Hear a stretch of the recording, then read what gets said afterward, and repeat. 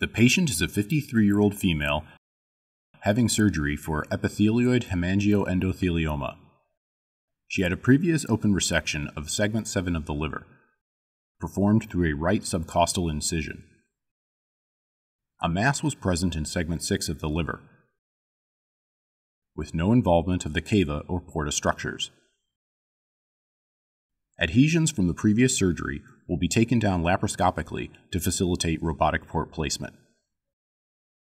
A robotic liver resection of segment 6 with Pringle maneuver was planned.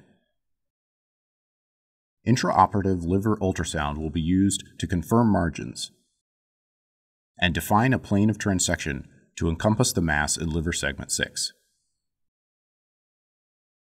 The cystic duct and artery will be divided prior to parenchymal transection.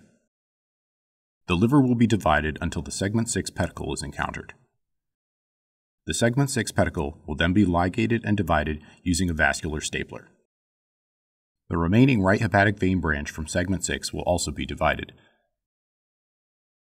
and the liver and gallbladder removed as two separate specimens.